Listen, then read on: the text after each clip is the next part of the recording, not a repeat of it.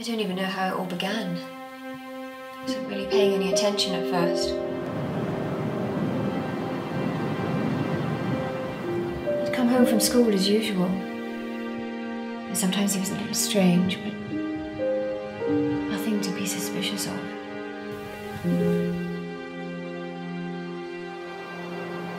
I should have seen it.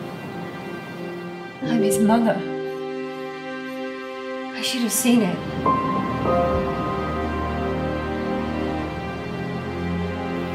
I don't know what to do. What do I do?